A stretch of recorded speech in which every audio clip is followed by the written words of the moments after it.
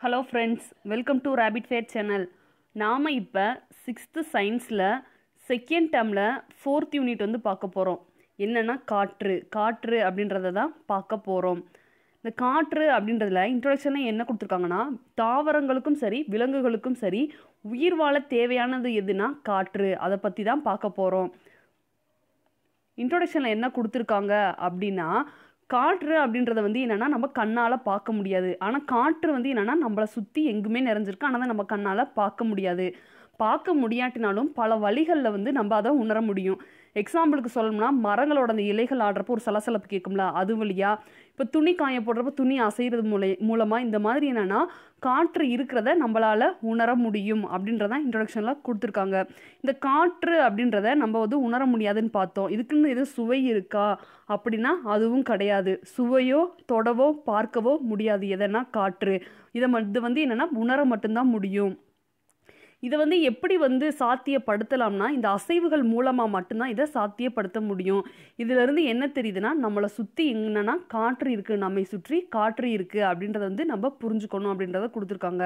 இப்போ நம்ம உயிர் வாழ அப்படின்றதுக்கு என்னென்னா காற்று வந்து மிக மிக அவசியம். காற்று அப்படின்றது நம்ம உயிர் வாழ்கிறதுக்கு மிக மிக அவசியமான ஒன்று இப்போ நம்ம சாப்பிட்றோம். சாப்பிடாம நம்ம என்னென்னா சில நாட்கள் வந்து உயிர் வாழ்ந்துடலாம் தண்ணி குடிக்காமல் சில மணி நேரங்கள் உயிர் வந்துடலாம் ஆனால் காற்று இல்லாமல் சில நிமிடங்கள் கூட உயிர் வாழ முடியாது அப்படின்னு வந்து கொடுத்துருக்காங்க.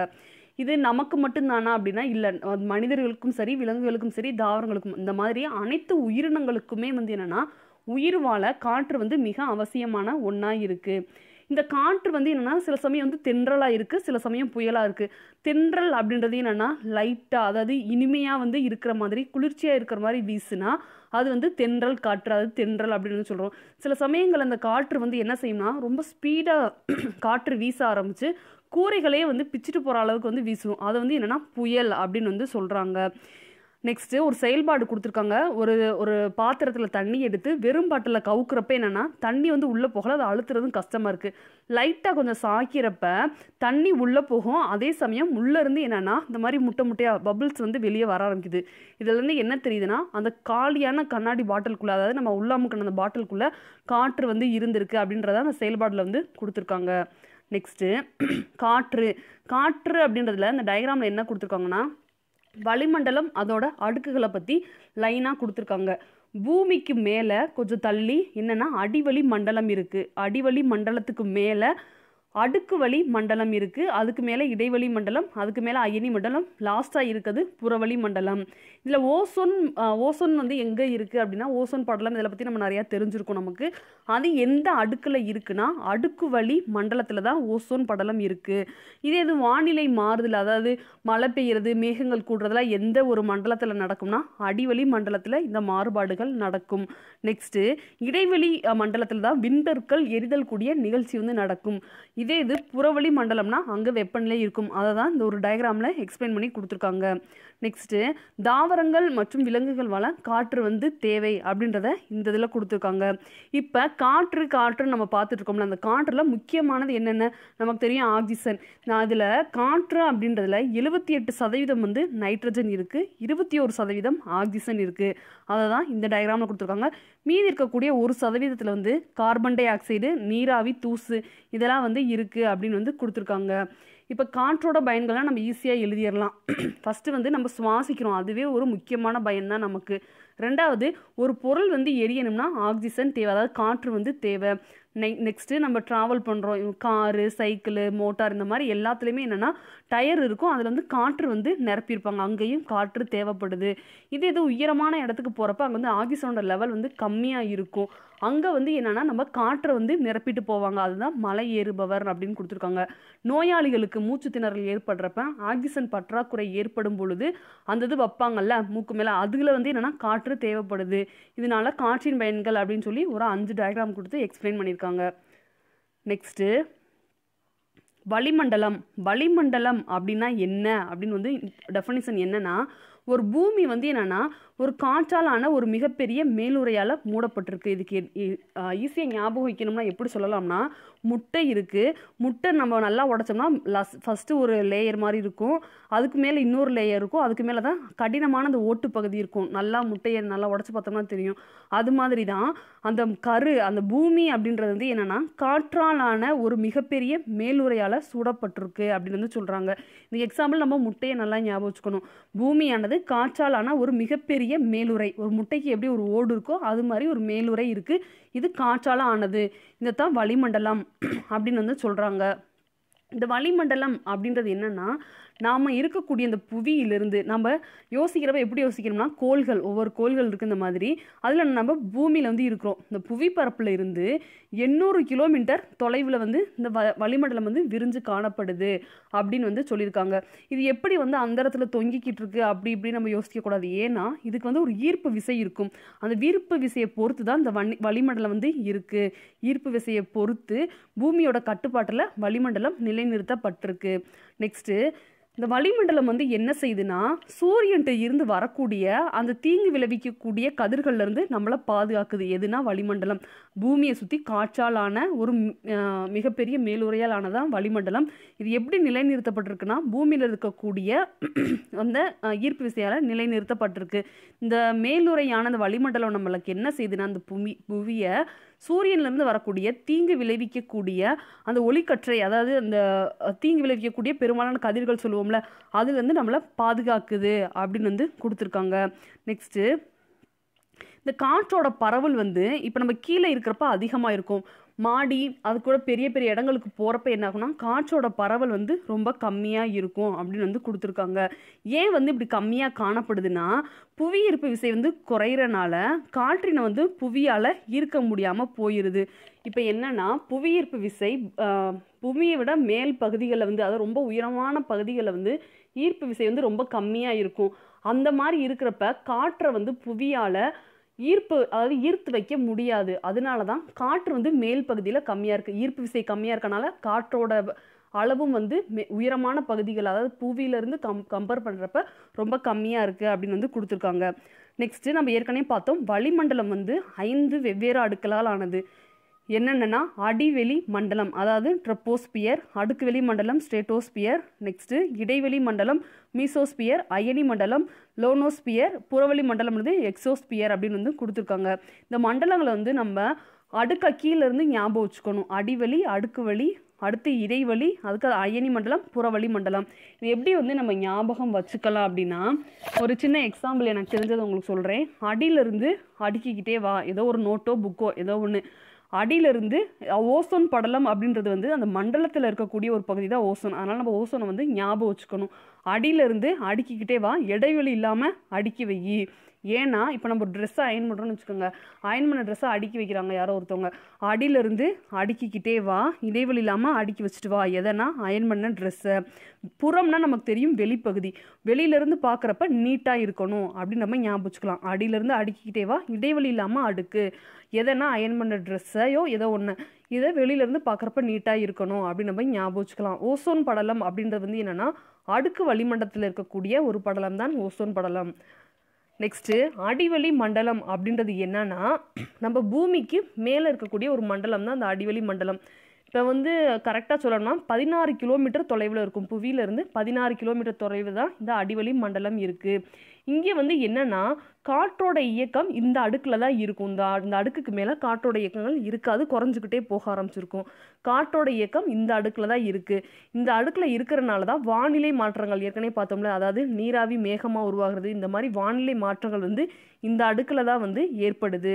அது மட்டும் இல்லாமல் இந்த அடுக்கில் தான் வந்து என்னென்னா வானூர்திகள் அதாவது ஏரோப்ளேன் இந்த மாதிரி இருக்கிறதெல்லாம் வந்து இந்த இடத்துல தான் பறக்குது.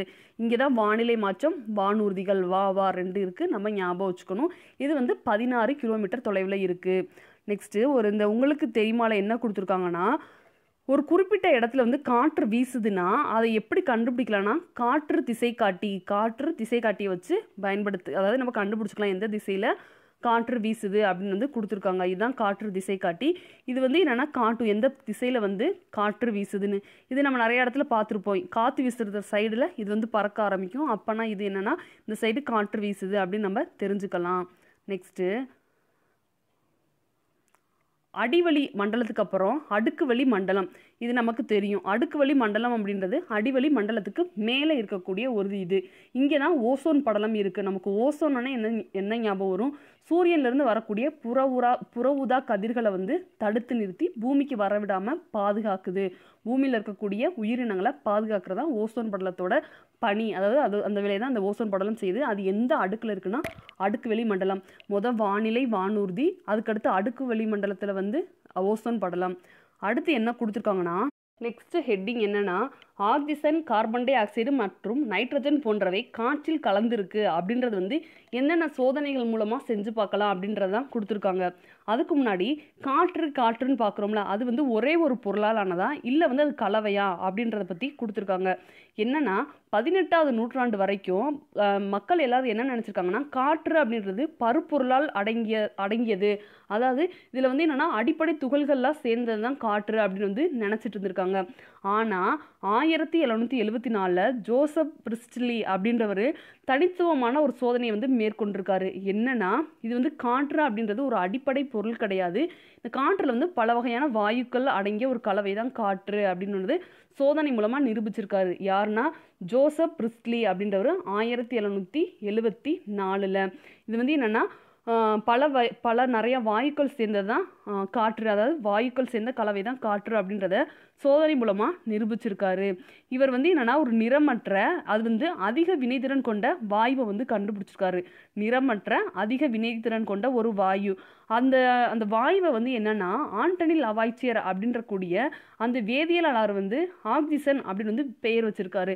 ஆக்சிசன் அப்படின்னு பெயர் வச்சது யாருன்னா ஆண்டனி லவாய்ச்சியர்.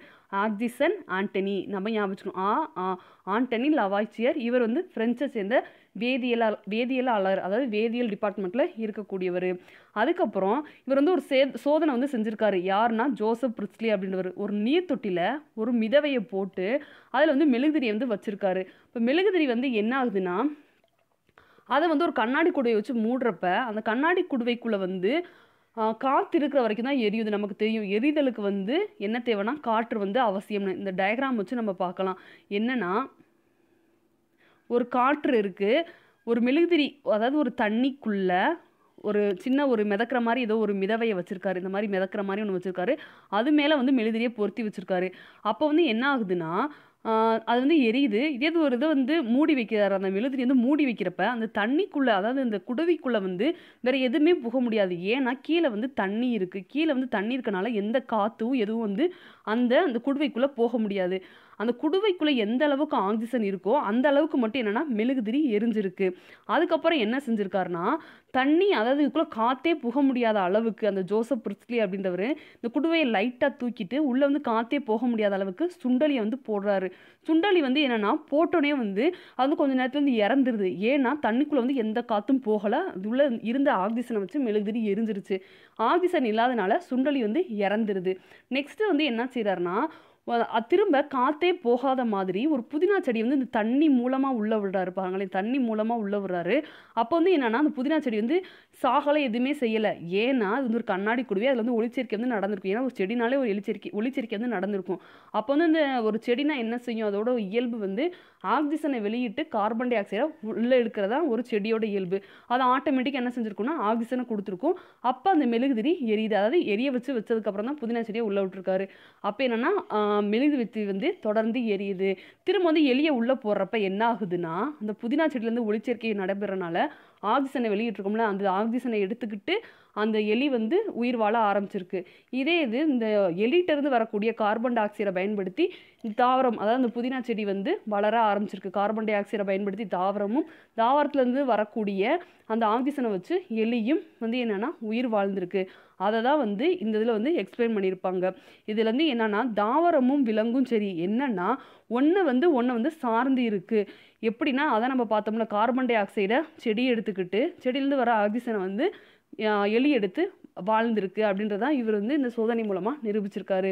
அதுக்கப்புறமா ஆயிரத்தி எழுநூற்றி முப்பதுலேருந்து ஆயிரத்தி எழுநூற்றி தொண்ணூத்தொம்பது முடிய ஜான் இன்ஜ இன்ஜன் ஹவுஸ் அப்படின்றவர் தாவரங்கள் ஒளிச்சேர்க்கை நிகழ்த்துறதுக்கு வந்து சூரிய ஒளி தேவைப்படுகிறது அப்படின்னு வந்து நிரூபிச்சிருக்காரு. யார் வந்து நிரூபிச்சா அப்படின்னா ஜான் இன்ஜன் ஹவுஸ். நல்லா ஞாபகம் வச்சுக்கணும். ஜான் இன்ஜன் ஹவுஸ் அப்படின்றவர் தான் நிரூபிச்சிருக்காரு.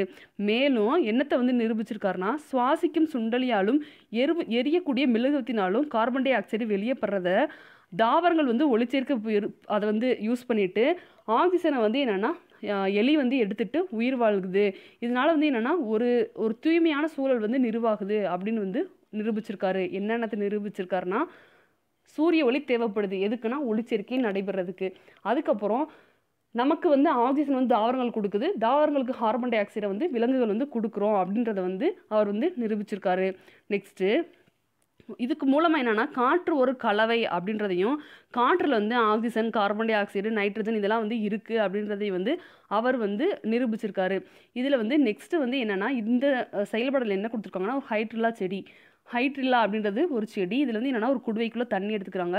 இன்னொன்று கூம்பு போன்றதுக்குள்ளே வந்து என்னென்னா இந்த ஹைட்ரில்லா செடியை வச்சு இது உள்ளே நல்லா அமுங்குற மாதிரி வச்சுட்டாங்க. இந்த மேலே இருக்கக்கூடிய அந்த அந்த ஃபனலில் மேலே இந்த கூம்பு மாதிரி இந்த இட தண்ணி வரக்கூடிய பகுதியில் வந்து என்னென்னா இன்னொரு டெஸ்ட் டியூப் வந்து வைக்கிறாங்க.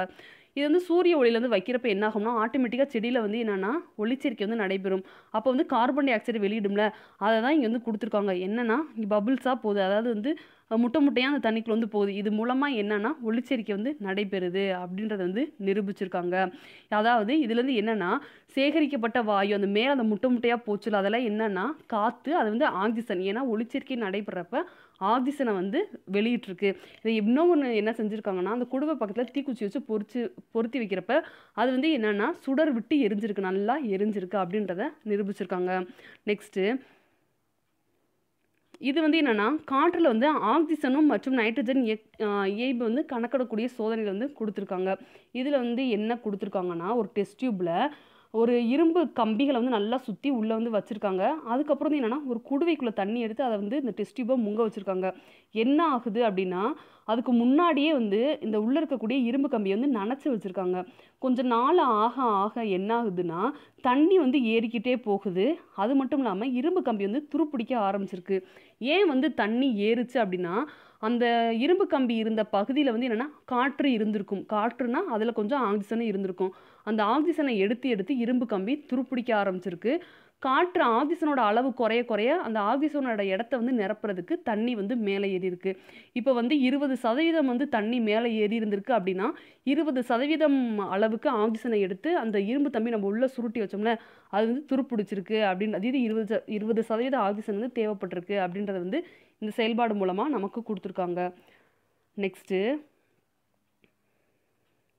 அதான் இங்கே கொடுத்துருக்காங்க. இதன் மூலம் காற்றில் ஏறத்தாழ இருபது சதவீதம் ஆக்சிஜன் இருக்கிறத கண்டுபிடிச்சிக்கலாம் அப்படின்னு வந்து கொடுத்துருக்காங்க. நெக்ஸ்ட்டு டேனியல் ரூதர்போர்டு அப்படின்றவர் எந்த நாட்டை சேர்ந்தவர்னா ஸ்காட்லாந்தை சேர்ந்த வேதியியலாளர்.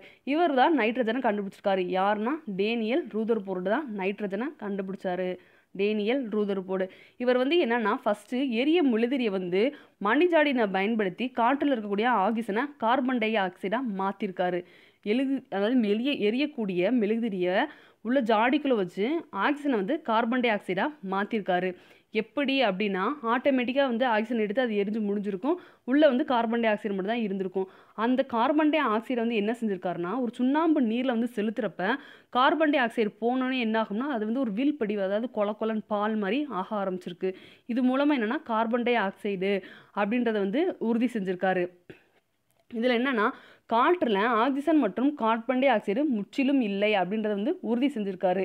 எது மூலமானா இந்த சோதனை மூலமாக ஆக்சிஜனும் கார்பன் டை ஆக்சைடு மட்டும்தான் இருக்கானா? அது மட்டும் இல்லை. ஏன்னா அதில் வந்து இன்னமும் ஒரு பொருள் வந்து இருக்குது என்னென்னா நைட்ரஜன். அது வந்து எப்படி இருக்குது அப்படின்னா நைட்டரில் இருந்து பெறப்பட்ட நைட்ரஜன் வாயுவோட பண்பு வந்து ஒத்திருக்கு அப்படின்னு வந்து கண்டுபிடிச்சி நைட்ரஜன் அப்படின்னு வந்து பெயர் வச்சிருக்காரு. நைட்ரஜனை வந்து கண்டுபிடிச்சது யாருன்னா டேனியல் ரூதர்போர்டு அதுக்கு ஒரு சோதனை வந்து செஞ்சுருக்காரு. ஆக்சிஜனை இல்லாமல் ஆக்கி ஆக்சிஜனை வந்து கார்பன் டை ஆக்சைடாக மாற்றி அதை சுண்ணாம்பு நீரில் செலுத்தி அதை வீல் பிடிவாக்கி அதுக்கப்புறம் வந்து என்னென்னா திரும்ப வந்து கார்பன் டை ஆக்சைடு இல்லை அப்படின்னு திரும்ப அதுலேயும் கார்பன் டை ஆக்சைடு இல்லை அப்படின்றத கன்ஃபார்ம் பண்ணிவிட்டு அதுக்கப்புறம் வந்து என்னென்னா இதில் வந்து இன்னும் ஒன்று இருக்குது என்ன அப்படின்னா அது வந்து நைட்ரஜன் ஏன் அது வந்து நைட்ரஜன் இருக்குது அப்படின்னு கண்டுபிடிச்சிருக்காங்கன்னா நைட்டரியில் இருந்து பெறப்பட்ட வாயுவோட பண்பு மாதிரி இருக்குது அப்படின்னு வந்து நிரூபிச்சிருக்காரு. அடுத்து ஒரு சோதனை வந்து என்னன்னா காற்றில் உள்ள கார்பன் டை ஆக்சைடை கண்டறியக்கூடிய சோதனை. இதில் வந்து என்னென்னா ஒரு கண்ணாடி குடுவையில் சுண்ணாம்பு நீரை எடுத்துக்கிறாங்க. ஒரு உறிஞ்சு குழாயை வச்சு காற்றின் வந்து நம்ம வெளியே செலுத்துறோம் அதான் நம்ம உடல்லேருந்து வள வெளியே வரக்கூடிய வாயுக்கள் எல்லாமே என்னென்னா கார்பன் டை ஆக்சைடு அதாவது தேவையற்ற வாயுக்கள். அதை வந்து ஒரு சுண்ணாம்பு நீரில் எடுத்து நம்ம ஊதுறப்ப என்ன ஆகும்னா கார்பன் டை ஆக்சைடு உள்ளே போகிறனால அந்த சுண்ணாம்பு நீர் வந்து வெண்ணிற வீழ்படிவாக வந்து உருவாகும். அதை தான் வந்து இதில் கொடுத்துருக்காங்க. அப்போனா காற்றில் வந்து கார்பன் டை ஆக்சைடு இருக்குது அப்படின்றத நிரூபிச்சிருக்காங்க. நெக்ஸ்ட்டு காற்றுவோட இயைபு. காற்றின் இயைபில் வந்து என்ன கொடுத்துருக்காங்கன்னா கிறிஸ்டலின் சோதனை தொடர்ந்து. இவரோட சோதனை அடுத்து ஜோசப் கிறிஸ்டல் நம்ம முன்னாடி பார்த்தோம்ல அவரோட சோதனையை தொடர்ந்து யார் யாருன்னா இன்ஜின் ஹவுஸ் அடுத்து ரூதர் போர்டு இவங்க சோதனைகள்லாம் எல்லாம் என்ன என்ன சொல்லியிருக்காங்கன்னா காற்று வந்து ஒரே விதமான துகள்களை கொண்ட பொருள் அல்ல அப்படின்னு வந்து இவங்க சோதனை மூலமாக நம்ம தெரிஞ்சுக்கிட்டோம். இப்போ வந்து என்னென்னா காற்றில் வந்து என்னென்ன பகுதி பொருட்கள் இருக்குது அப்படின்றதான் பார்க்க போகிறோம் அப்படின்னு வந்து கொடுத்துருக்காங்க. இப்போ காற்றில் நைட்ரஜன் ஆக்சிஜன் அதுக்கப்புறம் மற்ற இதர வாயுக்கள் வந்து இருக்குன்னு பார்த்தோம்.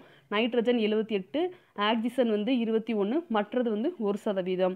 இப்போ வந்து மொத்தத்துக்கு சொல்லணும்னா அஞ்சில் நாலு பங்கு நைட்ரஜன் வாயு இருக்குது நைட்ரஜன் அஞ்சுக்கு நாலு பங்கு இருக்குது அடுத்து ஆக்சிஜன் வந்து ஆக்சிஜன் வந்து என்னென்னா இரண்டாவது பெரும்பங்கு. நைட்ரஜன் அடுத்து ஆக்சிஜன் தான் பெரும்பங்கு. இது வந்து அஞ்சில் ஒரு பங்கு வந்து இருக்குது அடுத்து கொஞ்சம் வந்து என்னென்னா மற்ற வாயுக்கள் நீராவி ஆர்கான் இது வந்து இருக்குது அப்படின்றது வந்து கொடுத்துருக்காங்க.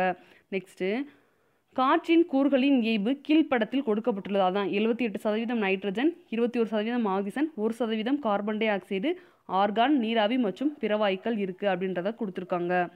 நெக்ஸ்ட்டு காற்றின் இயைபு வந்து ஒரே இடத்துக்கு இடம் இருக்குமா இல்லை மாறுபடுமா அப்படின்னா இடத்துக்கு இடம் வந்து மாறுபடும். இப்போ வந்து என்னென்னா கடலோர பகுதிகளில் வந்து கொஞ்சம் ஒரு மாதிரி நீராவி இருக்கிற மாதிரி இருக்கும். அதாவது கொஞ்சம் வெப்பம் கலந்து அந்த இது இருக்க மாதிரி இருக்கும். அப்போ நீராவி இருக்க மாதிரி இருக்கும். இது தொழிற்சாலை நகரங்கள் அப்படின்னா தேவையற்ற புகைகள்லாம் வெளியே வரும். அப்போ அந்த இடத்துல கார்பன் டை ஆக்சைடு அதிகமாக இருக்கும் மழைக்காலங்களில் ஆட்டோமேட்டிக்காக ஈரப்பதம் இருக்கும். அப்போ காற்றில் வந்து ஈரப்பதம் அதிகமாக இருக்கும் காற்றோட்டம் நல்லா காத்தடிக்குது அப்படின்னா அந்த இடத்துல வந்து தூசு பொருட்கள் வந்து அதிகமாக இருக்கும். இந்த மாதிரி காற்றில் இருக்கக்கூடிய இந்த இயைபு வந்து இடத்துக்கு இடம் வந்து கொஞ்சம் மாறுபடும் அப்படின்னு வந்து கொடுத்துருக்காங்க. நெக்ஸ்ட்டு காற்றில் உள்ள தூசு பொருட்களை கண்டுபிடிக்கக்கூடிய சோதனை. இப்போ நம்ம தூசு பொருள் காற்றில் இருக்குது அப்படின்றத நம்ம எப்படி பார்க்கலான்னா இப்போ ஏதாவது ஒரு ரூமில் எங்கேயோ வந்து ஒரு சூரிய ஒளி வந்து உள்ளே வருதுன்னா இந்த சூரிய ஒளி நம்ம பார்த்தோம்னா இடையில வந்து குட்டி குட்டி தூசுக்கள்லாம் பறக்கிறது தெரியும். இது மூலமாக காட்டில் வந்து சூர் இது சூரிய ஒளி படுறனால தூசுக்கள் இருக்கிறத வந்து நம்ம பார்க்க முடியும். நம்ம வீட்டில் பார்த்துருப்போம் இந்த ஜன்னல் வழியெல்லாம் இந்த சூரிய ஒளி வர்றப்ப குட்டி குட்டி குட்டியாக வந்து துகள்கள் வந்து பறக்கும். அதுதான் தூசுக்கள். இப்போ வந்து ஒரு செய்முறை வந்து கொடுத்துருக்காங்க. என்னென்னா ஒரு கிராஃப்ட் சீட்டு அந்த சீட்டில் வந்து க்ரீஸை வந்து தடவிட்டு அதை நம்ம தூசு ஏதாவது ஒரு இடத்துல வந்து தொங்க விட்டுட்டோம்னா நாளாக நாளாக அந்த க்ரீஸ் இருக்கிறனால தூசுக்கள் வந்து படிய ஆரம்பிச்சிரும். இது மூலமாக தூசுக்கள் இருக்கிறத நம்ம கண்டுபிடிச்சிடலாம் அப்படின்றது வந்து கொடுத்துருக்காங்க.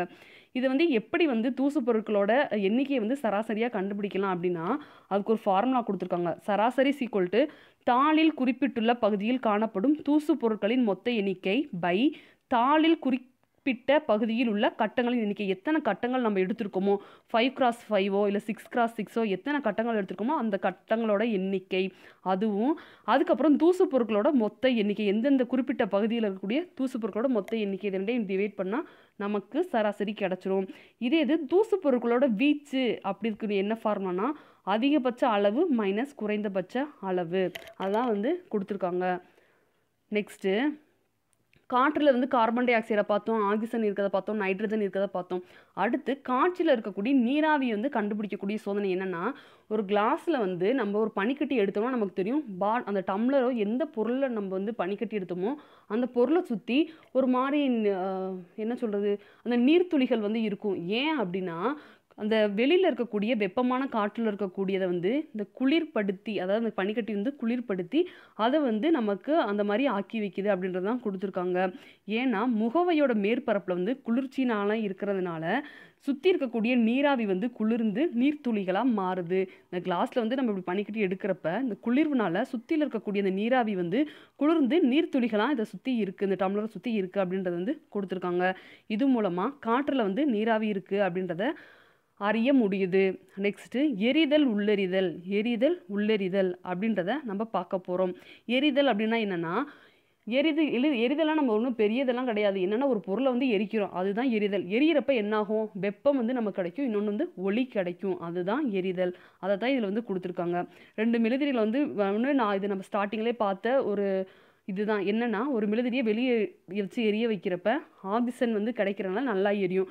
குடுவையில் வச்சு மூடுறப்ப என்ன ஆகும்னா ஆக்சிஜன் இருக்க வரைக்கும் எரிஞ்சிட்டு இன்னொன்னே அமைஞ்சிரும் அதுதான் இந்த இதில் கொடுத்துருக்காங்க.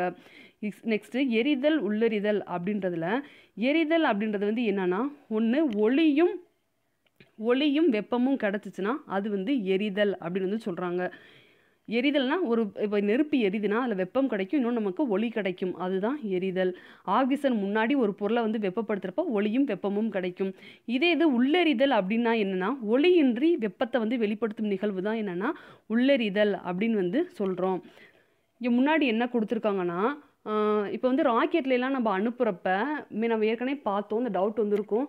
மேலே போக போக ஆக்சிஜனோட அளவு வந்து கம்மியாக இருக்கணும். அதனால தான் வந்து விண்வெளி வீரர்கள் இந்த மாதிரி உயரமான பகுதிக்கு மலையேறவங்களாம் என்னென்னா போகிறப்பயே தங்களுக்கு தேவையான அளவு ஆக்சிஜனை வந்து சிலிண்டரில் எடுத்துகிட்டு போவாங்க. ஏன்னா மேலே போக போக காற்றோட அளவு கம்மியாக இருக்கனால ஆக்சிஜன் பற்றாக்குறை இருக்கும். அதனால் சிலிண்டரில் எடுத்துகிட்டு போவாங்க. அதை தான் இந்த பாயிண்டில் கொடுத்துருக்காங்க. எரிதல்னால் ஒளியும் வெப்பமும் கிடைக்கும். ஒளியின்றி வெப்பம் கிடச்சிச்சின்னா அது உள்ளெரிதல்.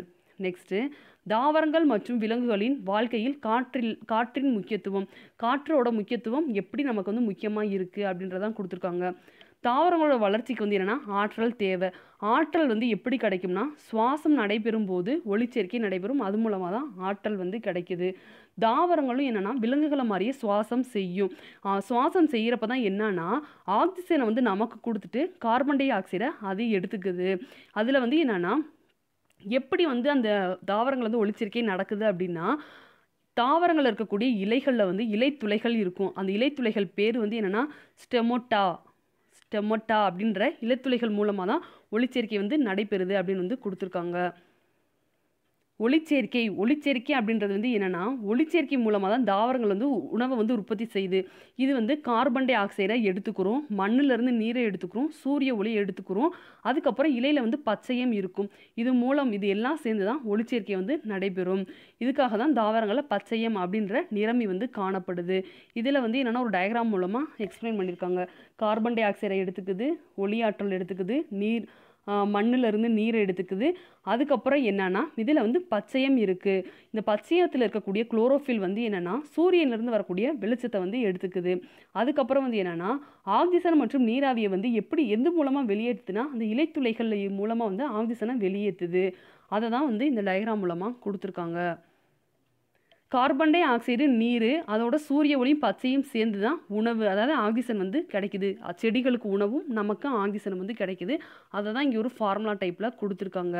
இதில் வந்து என்னென்னா ஒளிச்சேர்க்கையின் போது சூரிய ஒளியை உறிஞ்ச பயன்படுது. எது அப்படின்னா அந்த நிறமிலி நிறமிகள் அந்த குளோரோஃபில் அப்படின்ற நிறமிகள் தான் உறிஞ்சுறதுக்கு பயன்படுது. கார்பன் டை ஆக்சைடு ப்ளஸ் நீர் அதோட வந்து சூரிய ஒளியும் பச்சையும் சேர்றப்ப தான் உணவும் ஆக்சிஜனும் கிடைக்குது. நெக்ஸ்ட்டு தாவரங்கள் சுவாசிக்கும் போது எடுத்துக்கொண்ட ஆக்சிஜனை விட அதிகளவு ஆக்சிஜனை ஒளிச்சேர்க்கின் போது வெளிவிடுது. எவ்வளோ ஆக்சிஜன் எடுத்துக்கிச்சோ அதை விட அதிகளவு ஆக்சிஜனை வெளிவிடுது அப்படின்னு வந்து கொடுத்துருக்காங்க. விலங்குகள் சுவாசத்தில் என்னென்னா உயிரினங்கள் அனைத்தும் உயிர் வாழ காரணமாக இருக்கும் மிக முக்கியமான தனிமம் என்னென்னா ஆக்சிஜன். ஆக்சிஜன் இருக்கிறனால தான் நம்ம சுவாசித்து உயிர் வாழ முடியுது.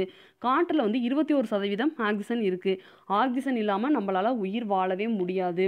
இதில் வந்து என்னென்னா நம்ம சுவாசிக்கிறப்ப அந்த சுவாசத்தில் போகக்கூடிய அந்த ஆக்சிஜன் வந்து என்னென்னா செரிக்கப்பட்ட உணவுப் பொருள். நம்ம சாப்பிட்றப்ப செரிக்கும்ல.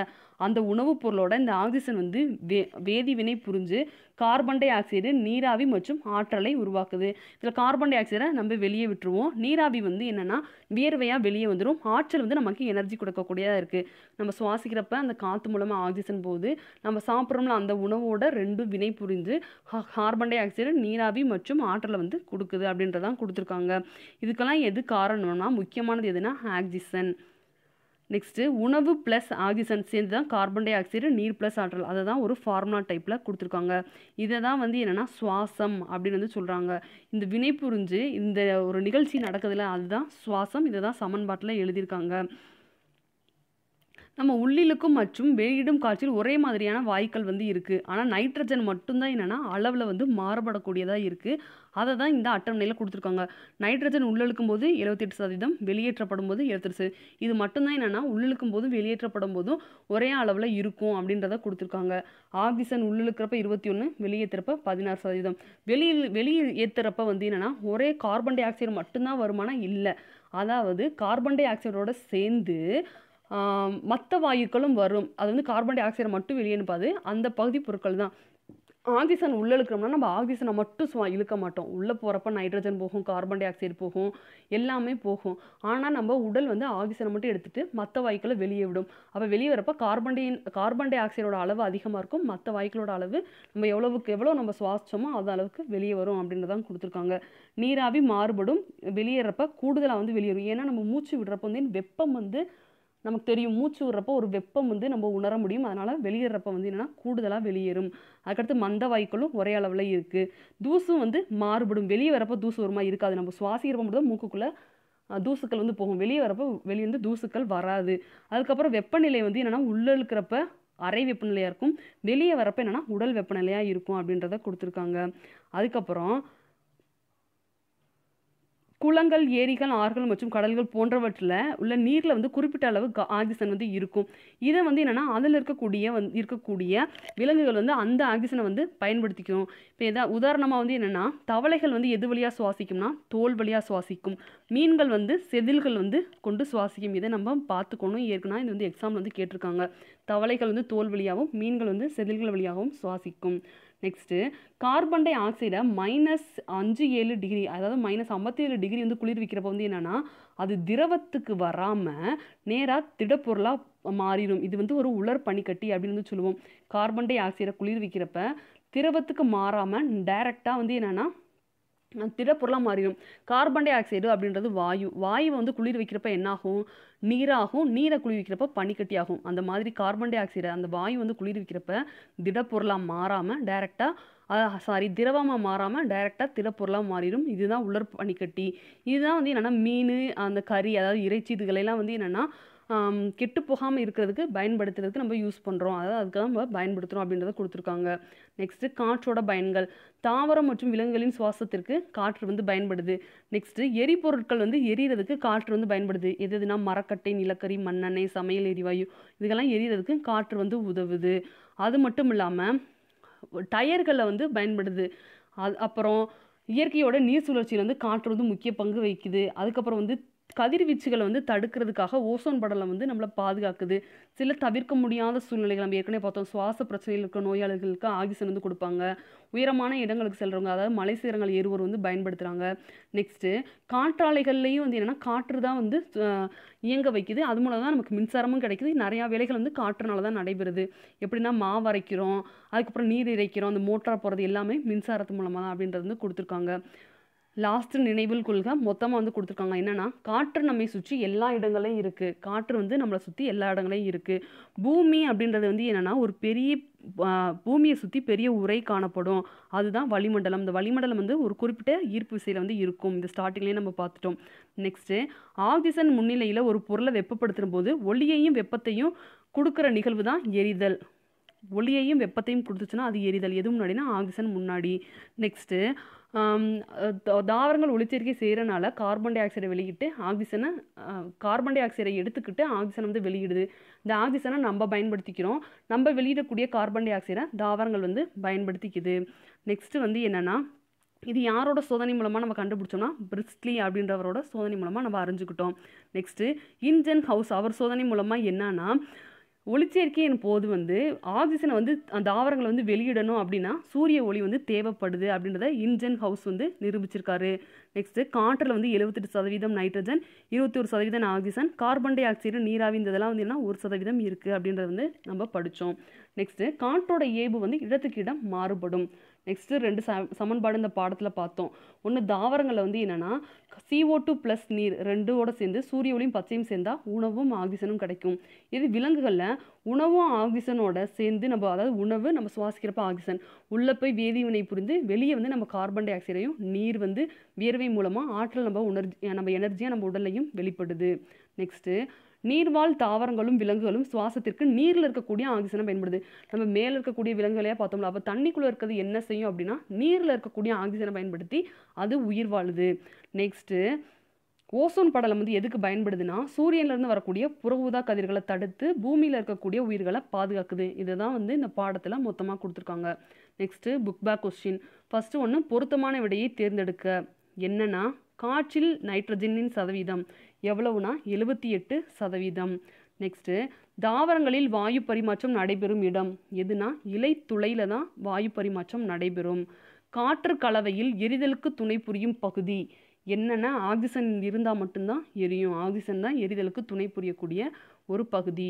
உணவு பதப்படுத்தும் தொழிற்சாலையில் நைட்ரஜன் பயன்படுத்தப்படுகிறது. ஏனெனில் என்னன்னா உணவுப் பொருள் உணவுப் பொருளை வந்து புதியதாகவே இருக்கும்படி செய்யுது எதுனா? நைட்ரஜன்.